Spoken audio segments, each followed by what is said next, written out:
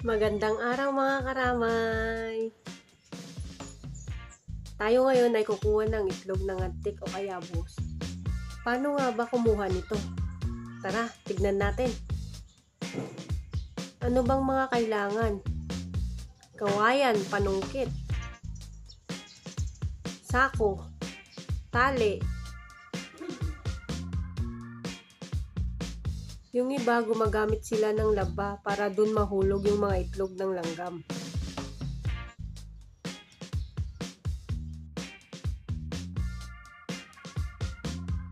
Ayan, tapos na. Tara na. Tara na, pumunta na tayo maghanap ng bahay ng langgam.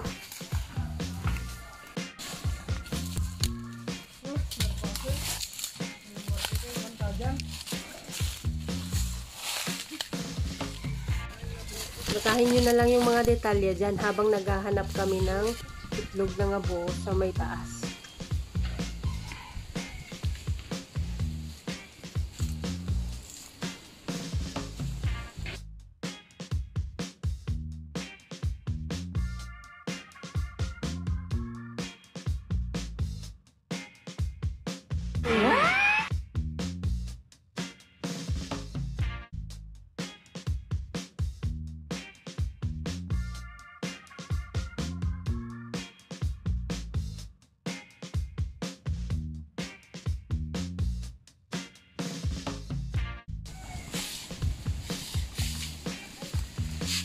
Hanap lang tayo, marami dyan.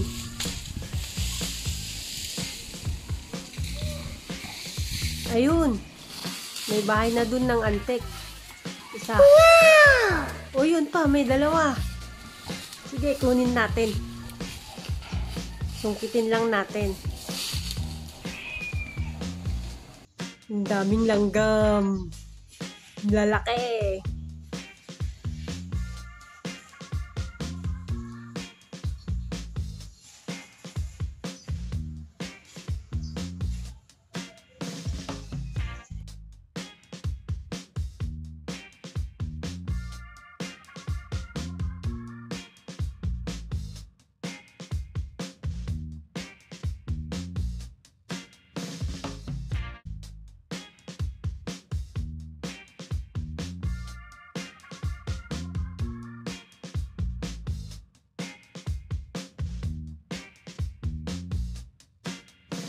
Tandaan, bawal magsunog.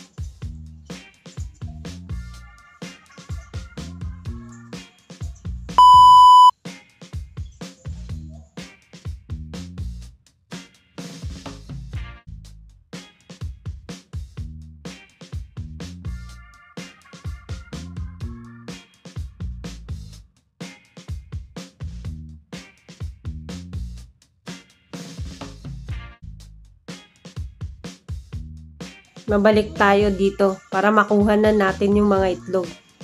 Para makababa na rin tayo.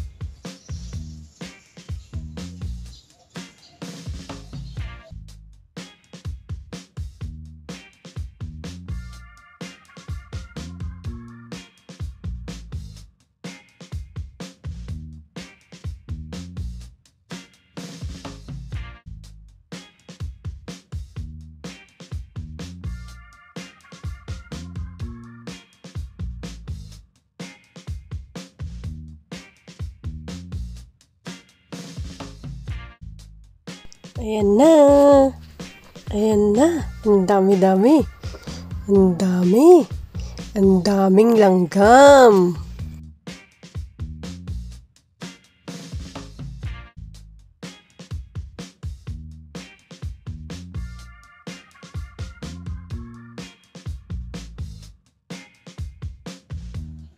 Ayan na. Tara, tignan natin kung marami tayong nahuli. Ay, malilit na itlog to. Pag ganito na, malapit na tong mapisa. Maging langgam. Ang daming langgam. Hmm, sakit. Sakit yung kagat. Ay, lagyan lang natin ng apoy sa gilid para hindi nila may, may takbo yung mga itlog nila.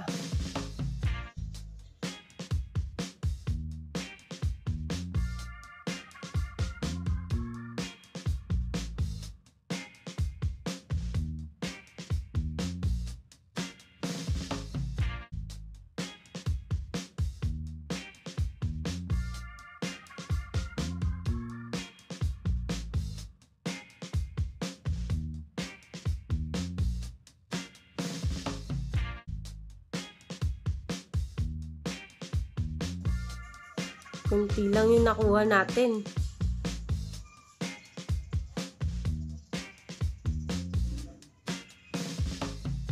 Pag malapit ng mapisa, malilit na yung itlog.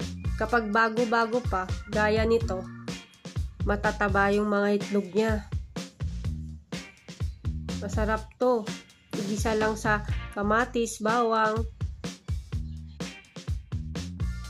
Masarap din pag adobo. Mag-ingat lang, baka may allergy kayo. Hmm.